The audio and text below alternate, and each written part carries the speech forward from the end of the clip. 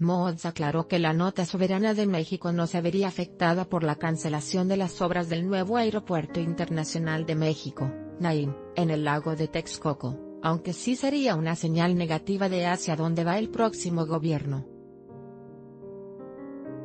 Ayer mismo, por la tarde-noche, un grupo de ingenieros recomendó a Javier Jiménez Espriu, futuro secretario de Comunicaciones y Transportes, continuar con la construcción de la obra a pesar de los elevados costos de mantenimiento y los impactos ambientales, urbanos y sociales.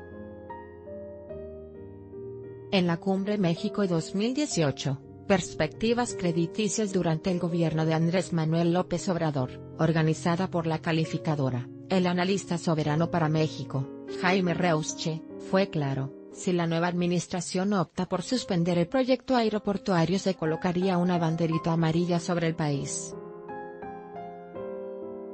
En el debate técnico, al dictamen de Mitre que ve en la opción más viable, ayer el Colegio de Ingenieros Civiles de México, CIM, en voz de su presidente Ascensión Medina Nieves, se pronunció en términos similares. Te puede interesar, en definitiva, Aeropuerto en Texcoco, Mitre el Colegio de Ingenieros Civiles concluye que con la información disponible la única solución factible, viable y confiable con todos sus retos por atender es continuar con la construcción del nuevo Aeropuerto Internacional de México. Cancelar las obras provocará la pérdida de las inversiones, costos por la rescisión de contratos y el mensaje negativo que México mandaría al exterior declaró el ingeniero al entregar uno de los tres dictámenes técnicos a Jiménez Espriu. El presidente electo, Andrés Manuel López Obrador, solicitó el 6 de agosto a los ingenieros una opinión técnica imparcial, objetiva y útil para solucionar el problema de saturación del Aeropuerto Internacional de la Ciudad de México, AICM. Posteriormente, el equipo de trabajo del mandatario electo entregó documentación de la obra que está en construcción en Texcoco y como alternativa la propuesta de operación simultánea entre el nuevo Aeropuerto Internacional de Santa Lucía y el AIM. Te puede interesar, aeropuerto en Santa Lucía es inviable. Mitra Medina Nieves expuso que esta última opción imposibilita la creación de un centro de operaciones regional o V en el Valle de México además de que no es una solución para mitigar la saturación a largo plazo y las condiciones de operación del actual aeropuerto son preocupantes. José Francisco Albarrán Núñez, presidente de la Academia de Ingeniería, detalló los inconvenientes que el gremio encuentra en el de Santa Lucía.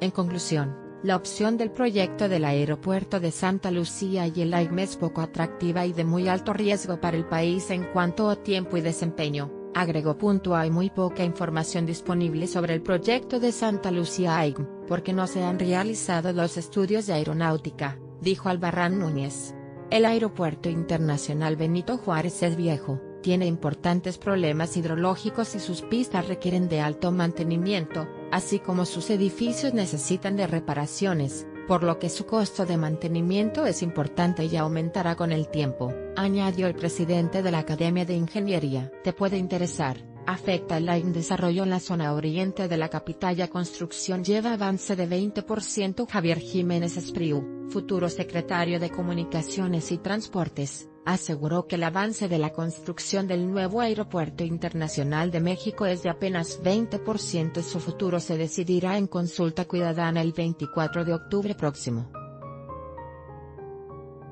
Luego de recibir los dictámenes de un grupo de ingenieros sobre las obras en Texcoco, declinó emitir una postura al señalar que lo presentado eran resúmenes. Sobre las fechas, dijo que, en las reuniones que hemos tenido con el grupo Parsons nos han aclarado que el avance es de 20% y no de 31% como se había dicho, comentó Jiménez Espriu.